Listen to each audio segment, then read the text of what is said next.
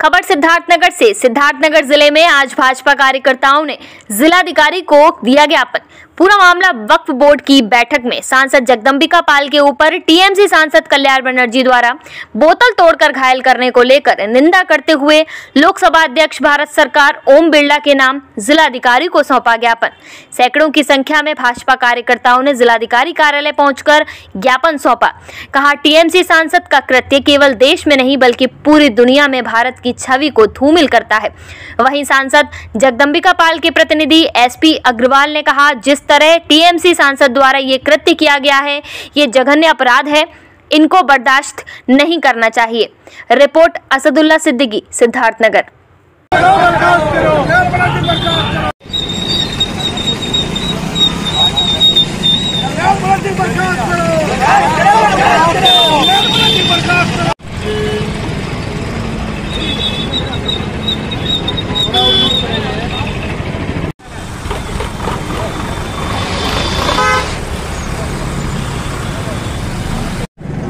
आप लोगों ने आज प्रदर्शन किया क्या नहीं प्रदर्शन नहीं किया है। ज्ञापन हम लोगों ने एक ज्ञापन दिया है जिलाधिकारी को।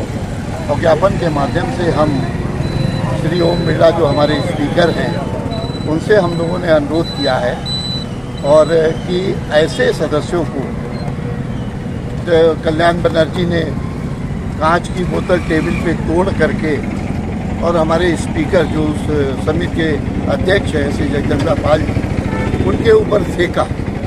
कांच की बोतल को तोड़ करके। इससे बड़ा जघन्य अपराध नहीं हो सकता था।